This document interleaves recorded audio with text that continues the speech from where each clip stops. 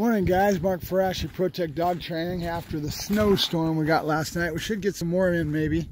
There's enough clouds out there that it could get pushed on in later this afternoon and get us another little flurry. Who knows, I have to check the weather report. Um, wanted to do a little yak, it's a screen session since I'm not going to go out and work dogs this morning. Just kind of bear with the, the slosh and the mud and everything else that's due to come with the snow. It always gets kind of ugly after the first couple days after the snowstorm dig our way out and get out of here. It's not that big a little bit of snow on the ground. It's not that big a deal, but it still creates kind of a sloshy mess.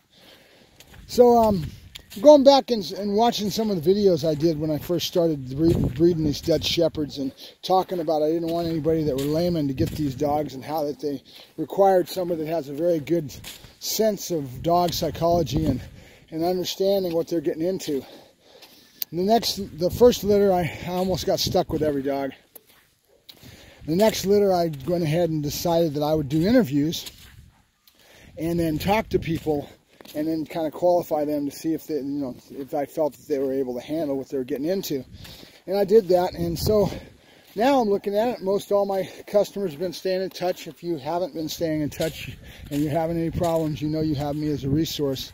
Go ahead and reach out. I'll be more than happy to help you out, spend time with you. It's all about me trying to give you as much support as I can with a dog that's a little higher uh, criteria in your skill level, okay? Um, so then I've got two of my customers. I got the one return with Aurora based on supposedly a a heart murmur, which uh, I think was a low grade, normal.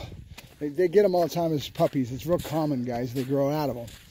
So uh, she returned the dog, but really, I think it was more about behavior and her inability to handle it. And I've said that it was because she was up in this cabin and all that. Well, she recently re reached out back my way and told me there was a lot of people around. There was things that she had done. She was trying to work on it.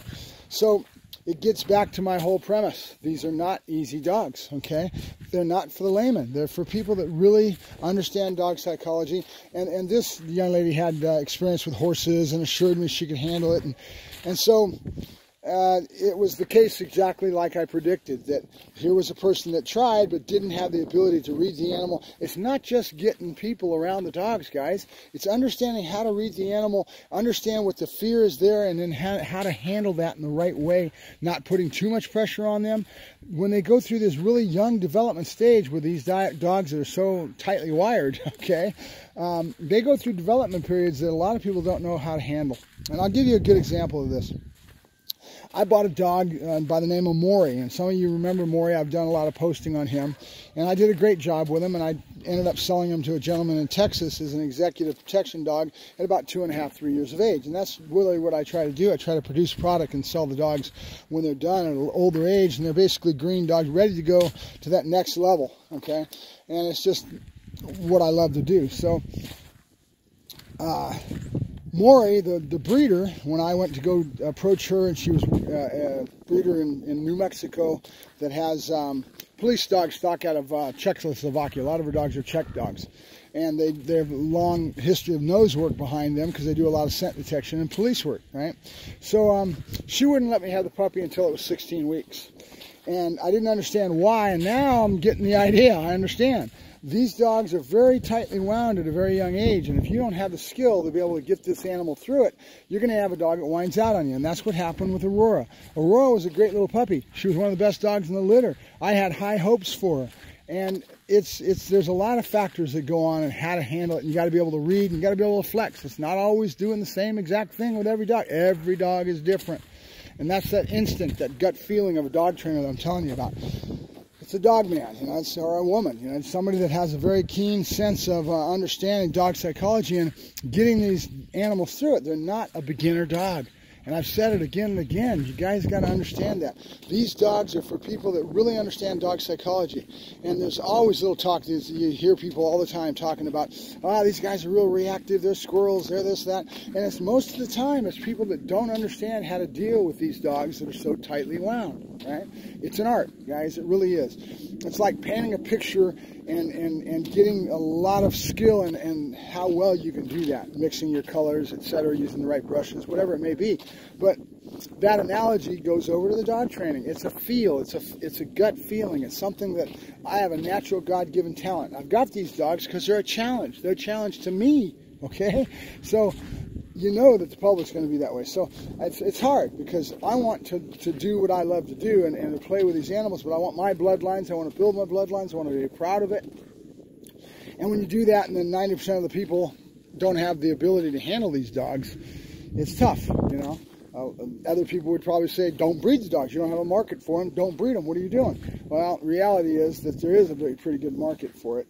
Um, and I just don't like to see the dogs get uh, go sideways and then end up in a bad situation.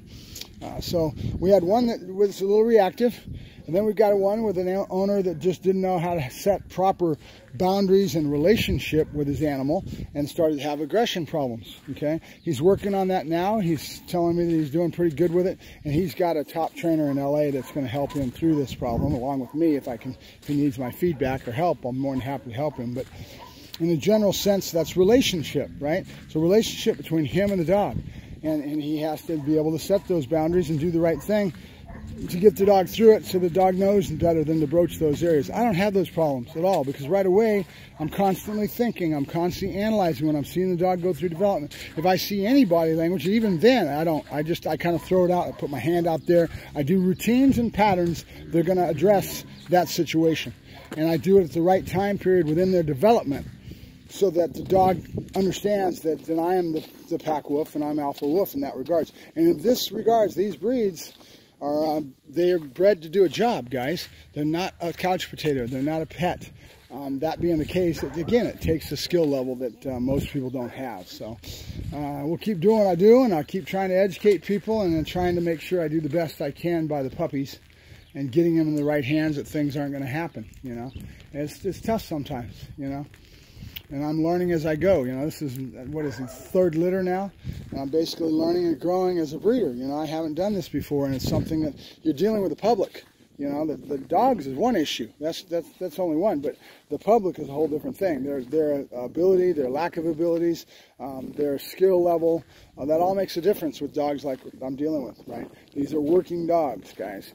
All right, I'll let you guys go. Have a good vacation. There's still the New Year's to come. We're getting closer every day, and we're having a good time up here in the high desert. Very cold. I should have worn my gloves, and my hands are freezing right now. It's starting to turn into a sloshy mess already. See, it'll melt today pretty quick. It becomes a big old water mess. But there's not much on the ground out there, so that's a good thing. All right, Mark Ferrasci, ProTech Dog Training. I'll let you guys go. Have a good day.